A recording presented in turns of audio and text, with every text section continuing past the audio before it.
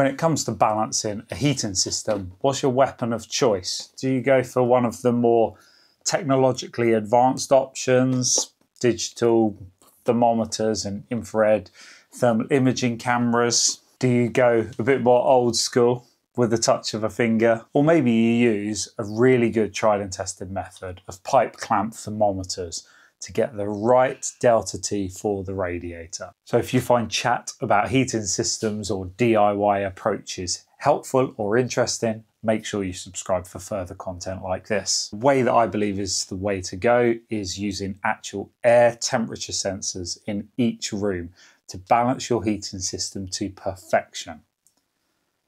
Now, I've been experimenting with this for some time, and last year I had a few hiccups along the way. And one of my commenters, I wish I could go back and find your name, you pointed out that not all of these will read exactly the same, even if they are from the same manufacturer.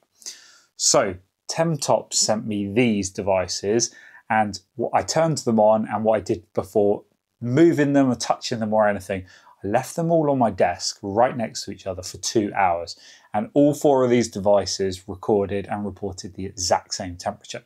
So then I set about putting them in my four rooms and I left them for a few days to let them do their job and then I found a little bit of disparity. And I've been fiddling away with lock shields to try and get the downstairs of my house absolutely balanced. And this is how it's shaken out for me so far. So our desired temperature, 21 degrees. You can see the actual room temperature, 20.5 degrees. Now, Temtop is telling me 20.7 degrees. Kitchen area, 20.7 degrees. Hallway area, 20.8 degrees. And the room that gets all the solar gain all day, 21.5 degrees. So there you can see the results are very good small room for improvement, possibly, but there's so many variables. You're always going to be maybe half a degree up or down, depending on other factors and human bodies and other solar gain and everything else. So Temtop sent me three of these. These are the T1 SE. Comes with a little self-adhesive magnet that you can just stick on the wall and then that just pops on and then this can just stick on the wall. And uh, these also have a little kickstand, so you can just rest them. And of course, it's a clock. It gives you the temperature, it gives you the humidity, and you have a little uh, indicator there. So the green is in the comfort zone at the moment. I'm holding it and breathing on it, and it's saying 67% humidity. So these are simple, lightweight, and appear to be very accurate temperature and humidity sensor devices, and relatively cheap as well. Now, this one from Temtop is their M10 Plus. This is a little bit of a different device. This one is USB-C rechargeable. It's got one of those weird like e-ink displays, you know, like a Kindle device or something. And this one, in addition to the temperature and the humidity, also reports on PM 2.5 and uh, AQI which other ones? The CO2 parts per million and uh, VOCs as well. So you can see at the moment we're in the green for all of those. And uh, that's been interesting as well because that's not something that I've actually measured in this home. This one has a straightforward app that you connect to by Bluetooth and it does log all of the data so you can look back historic at the uh, temperature ranges throughout the day. What I really wish which I didn't understand when Temtop was sending me this. Um, I thought that these were kind of like satellite sensors. They would all report back to the M10 Plus, and then I would have historic data for each of the individual rooms. That would be a dream, really. Um, and of course, they've sent me like a little starter kit. This is enough for me to do the downstairs of my house. Now that I've got the downstairs of the house perfectly balanced, I'm going to move all of these sensors upstairs into the four bedrooms, one sensor in each bedroom, and then I'm going to try and balance those so that they are perfect as well. And I know that the difficult thing with balancing the heating system is you turn one lock shield just an absolute smidgen of a turn, and that then if you open more flow to one radiator, that means less flow is going to another radiator. And so you feel like you're constantly chasing your tail really the ideal thing would be to have 10 of these all around the house and to leave it for a few weeks and just a couple of tweaks here or there. So hopefully you saw it in my previous video when I walked around with this, turned the heating system on. As I turned the radiator on in the garage and opened that lock shield right up, I really threw off the balance of the rest of the system. I had to crank the lock shield right down on the garage radiator to try and help some of the further radiators in the system get that flow that they needed. Now, I'm happy to say as well, uh, one huge benefit from having a heat pump as your heat source is because of the lower flow temperature and running it for a very extended periods of time, it seems to almost self-balance somewhat to, to a degree. Um, if you are running a high temperature heating system with a higher flow temperature and running it for shorter durations, then the balance of the system is going to be a lot more critical, I think. We also tend to leave pretty much all of our doors wide open so that the air can transfer before the between the rooms.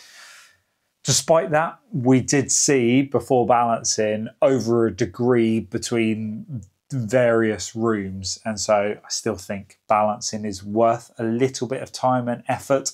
And if you set these up in rooms, you can just tweak it for a minute a day and then leave it for another 24 hours. And slowly you can bring it into the correct range. And then you may want to adjust for other things.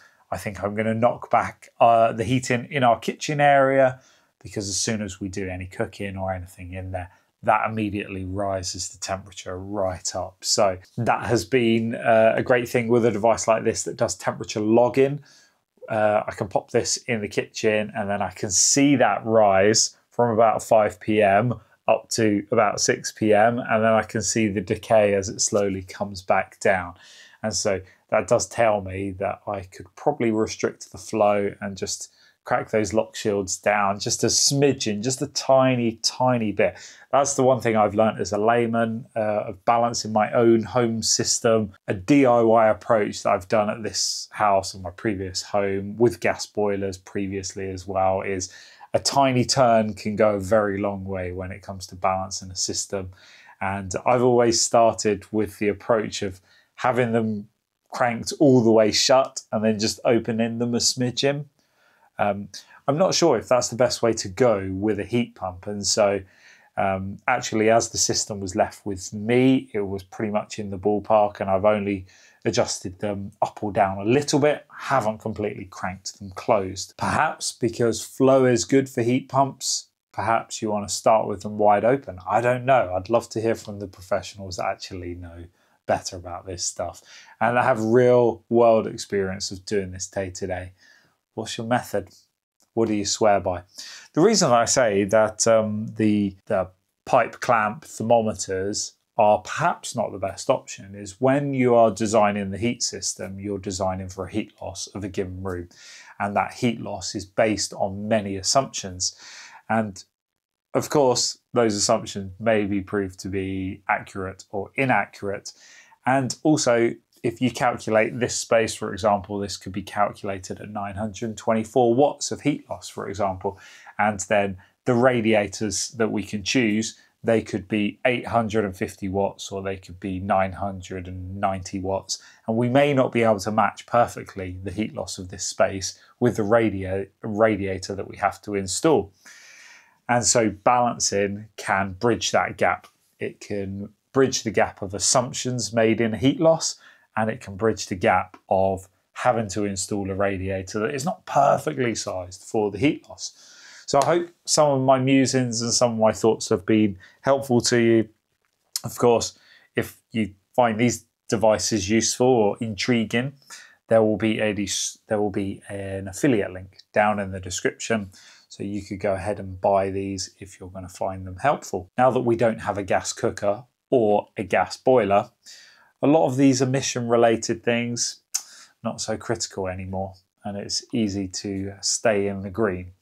Surprising if you do pop one of these in a kitchen with a gas cooker or you pop this um, near a gas boiler, sometimes some of these readings can shoot to the moon. So if you find chat about heating systems or DIY approaches helpful or interesting, make sure you subscribe for further content like this. Thank you as always for watching.